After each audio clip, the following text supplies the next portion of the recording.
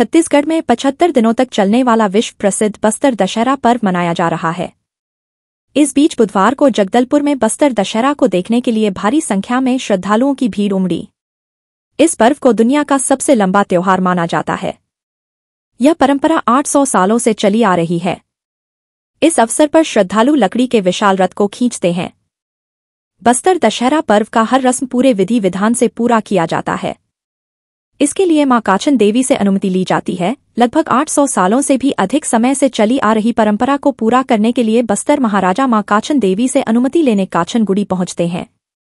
वो माता से आशीर्वाद मांगते हैं कि बस्तर सहित प्रदेश में खुशहाली बनी रहे और दशहरा पर्व बिना किसी विघ्न के पूरा हो सके। वहीं माता से अनुमति लेने के बाद बस्तर दशहरा की शुरुआत की जाती है। छत्तीसगढ़ का बस्तर दशहरा दो खास वजहों से काफ़ी फ़ेमस है।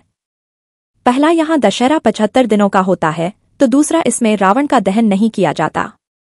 यहाँ रथ की परिक्रमा की परंपरा है, बस्तर दशहरा की चर्चा देश दुनिया में होती है। इस समारोह में शामिल होने के लिए देश के अलग अलग हिस्सों के साथ साथ विदेशों से भी सैलानी आते हैं। आपको बता दें काचन देवी एक छह साल की कन्या पर सवार होती हैं, और वह पनका जाति की होती हैं, जिसे रण की देवी कहा जाता है। ये पंगपरा सदियों से चली आ रही है, और इसे आज भी पूरे विधि विधान के साथ पूरा किया जाता है। बस्तर दशहरा समिति के अध्यक्ष और सांसद महेश कश्यप ने कहा, हम काचन देवी से दशहरा की अनुमति लेकर इसकी शुरुआत करते हैं। बस्तर के पहले पुजारी को बस्तर के महाराजा से अनुमति मिलती है और फिर रैला देवी से अनुमति मिलती है। उसके बाद मावली मंदिर से फूल रथ की परिक्रमा शुरू होती है और यहाँ प्रतिदिन परिक्रमा होती है। दंतेश्वरी मावली माता का विश्व प्रसिद्ध जो ऐतिहासिक दशहरा बस्तर में मनाया जाता है और पाठ यात्रा से प्रारंभ होकर के विभिन्न रस्मों का कार्यक्रम निरंतर चलता रहता है और जब हम आ, हम लोग काचन देवी से दशहरा का अनुमति हमारे बस्तर रियासत के प्रथम पुजारी बस्तर रियासत के महाराजा के द्वारा अनुमति मांगा जाता है उनका अनुमति मिलता है फिर रैला देवी का अनुमति होता है। उसके बाद यहाँ मावली मंदिर से पुल रथ का प्रारंभ होता है और प्रतिदिन यहाँ परिक्रमा होता है। इस प्रकार से लगातार अभी पुल रथ का परिक्रमा होगा। अभी आने वाला दो दिन के, एक दिन के बाद हमारे मावली प्रगाव भी होने वाला है।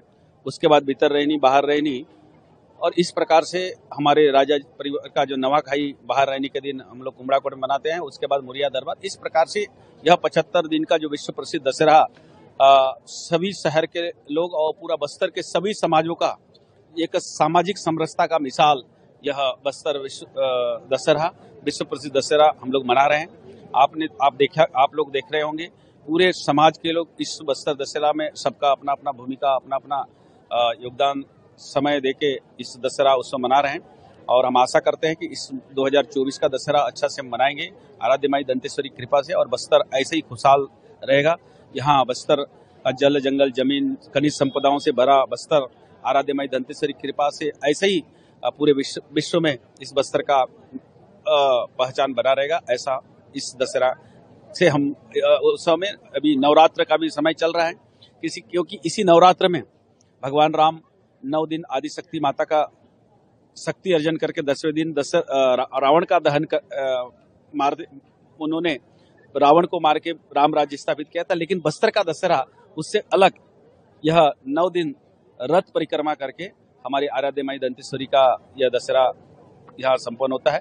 और निरंतर ये रस्म का कार्यक्रम चल रहा है।